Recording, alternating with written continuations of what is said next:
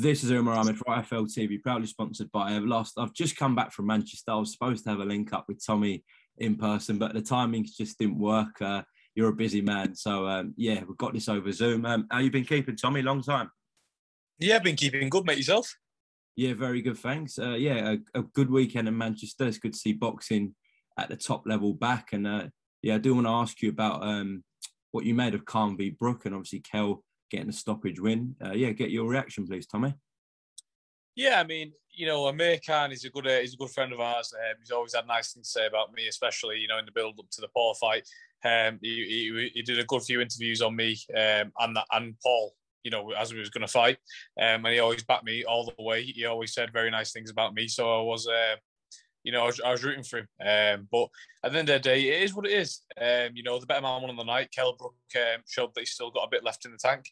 Um, you know, and all, all, congratulations to Kell Brook. Um, but in all honesty, I, I, think it was a great. I think it was a good fight. Definitely good, entertaining fight. Um, I did think it lived up to the hype that it was going to be. It was a good fight. Um, you know, it was very entertaining. But I'd like to see both fighters retire now. Um, I think both fighters have been world champions. They've had forty odd fights apiece. You know, they've done everything that they they needed to do. So, you know, just retire now, enjoy your family lives. You know, boxing's um, it's a tough game. And you've got to know you've got to know when to hang it up. You know. Um, so yeah, it was a great fight, but I'd like to see them both retire now.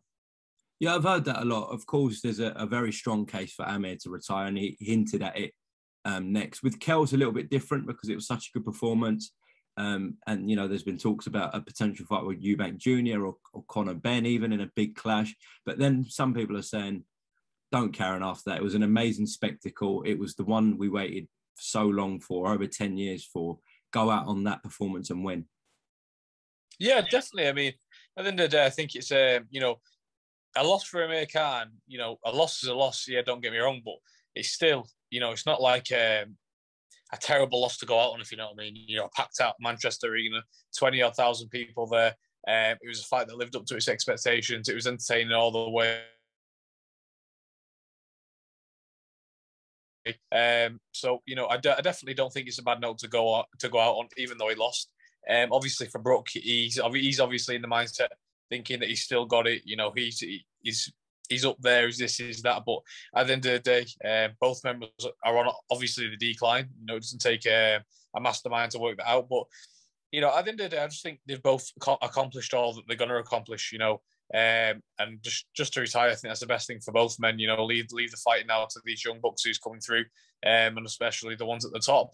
Um, like I said before, I think boxing is too out of a out of a game. They've both got miles on the clock, um, especially Amir Khan. You know, he's had a few he's had a few big shots passed throughout through his career. Um, Kell Brook again the same. Mm. Um, so you know, at the end of the day, I think they've had that you know big defining fight now. I think it's I think it's best if they just go out like that. If, if I'm being honest. Well, it was great to see uh, a huge fight involving two Brits. Of course, we are waiting for another one. Uh, none other than your brother Tyson Fury and Dillian Whyte. We are now speaking on Monday, the 21st of Feb. It's half seven in the evening. Uh, report suggesting that Dillian has until 6 a.m. of the 22nd of Feb to sign the contract. We know your brother signed a while back. What's going on, Tommy? You think Dillian still hasn't signed? What's happening? I mean, I don't really know what his tactics are. To being quite honest, I don't really know what he's um, what he's intending to do here. I mean, I know he's been, you know, I'm not going to talk figures, but I know he's been offered uh, very, very good money for the fight, uh, money that he's certainly not going to see again in his career. So, I mean, I'm, I'm scratching my head, you know, all the time. I'm here. He's not signed really because the type of money that he's getting offered, he's never going to see that in his career. Um, I don't know, you know, him or his management think, thinking that he is, but he definitely isn't. Um, you know, without Tyson, who does he fight next? I mean, he's just at the back of the pack. This is his shot. You know, he's been banging on about he wants his title shot for years now. You know, oh, I've fought so many eliminators. Well, sign the dotted line. You know, there's your shot against the best fighter in the world. If, if there's any if, if there's any time to go and prove your worth, it's now, isn't it? And he's got his bet. He's gonna get. He's gonna. He's got the best opportunity of his life to go and do it. And he's and he's dragging it out. I mean, maybe he's played mind games. Maybe he's holding out for more. I don't know, but he's not going to get more because at the end of the day, Tyson don't need Dillian Whyte. Dillian Whyte needs Tyson, and that's very, very clear to see. Um, but I don't know. There must be something in the water with with this business making at the minute. I mean, AJ's just suffered a 15 million pound loss for doing nothing, um, and Dillian Whyte looks like missing out on a hell of a lot of millions. Um, so I don't know. They need to get their act together, really, don't they? Well, there's been a suggestion that he is playing mind games um, and leaving it kind of to the last minute where he might sign tonight or, or tomorrow morning. Um, you know your brother very well, obviously, and the the kind of mental strength he possesses. That is that going to affect him all this, leaving it to the last minute? No, definitely not. I think you know everybody knows by now, Tyson. You you physically can't get in that man's mind. He's the master of uh, mind games. He knows how to play. He knows how to get inside your mind. Um, and Tyson's the best fighter on the planet by a country mile. So he doesn't he doesn't care who he fights because Tyson doesn't need a dance part, partner. Tyson can sell out arenas, stadiums, whatever it may be by himself, even if he was fighting the postman. You know, so Tyson don't need all these other heavyweights. They all need him because Tyson's the only reigning undefeated champion left. You know, Tyson's the best man in the world, so why is he going to bother if he fights number one, number two, number three, or number four? You know, it doesn't matter to Tyson. They're just other men standing in the corner. You know, when it's fight night for Tyson, Tyson's the main attraction. He's the one everyone's there to see. You know, he's the one with all the support. You know, the other guys are just there to take a paycheck and do the best they can.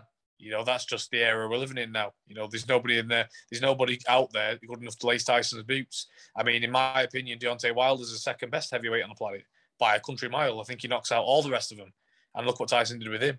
Took his best shots, got up, beat him from pillar to post in the second fight, even beat him at his own game in the third fight. Stood there and had a war with the most dangerous puncher that's probably ever been.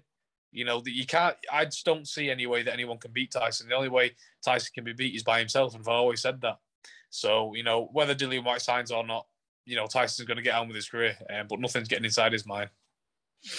Listen, Tommy, thank you very much uh, for your time. This is just a short video on Khan Brook and what's going on with uh, your brother and Dillian. We're going to recall something else now. Just let the viewers know that I'm going to get Tommy on talking about Jake Paul. I'm going to put this out tomorrow, i.e., Tuesday.